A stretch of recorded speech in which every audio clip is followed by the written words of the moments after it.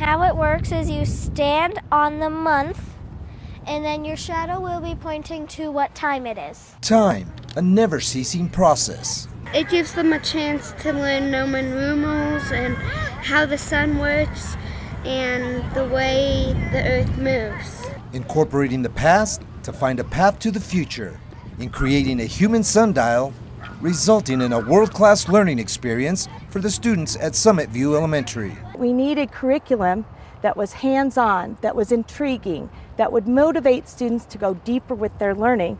And that's how we came up with the sundial. My favorite part of the sun clock is how people can learn and that it'll stay here forever and like the old ways aren't lost. It was just a very interesting project to bring up the math and and to realize that people told time long before we had watches with batteries. It takes what they're learning on the inside of the building and brings it out to make connections. We take what was in the past to learn about present to move on to the future. And with having the sundial, that's a great example of it. This learning experience was not just an exercise in math and the trajectory of the sun. It was a true interdisciplinary lesson and a collaborative effort between the school, students, staff, and the driving force behind the project, the Girl Scouts from Troops 917 and 755.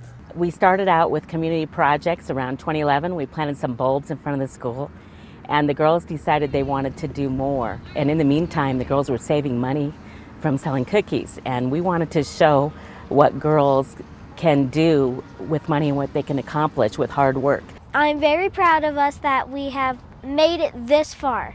And by taking this lesson beyond the classroom and into the community, the students acquired a real world learning experience. It takes more than an idea, and I think what we all learned is it takes a lot of hard work and teamwork to implement a project like this. And we're very happy about it, and we think it's a big success, and we hope that everyone can learn and use the clock for many years to come. And as time continues its endless journey, the world class learning experience also continues at Summit View Elementary. Where are we going? 21st century? Here it is. It's all right here.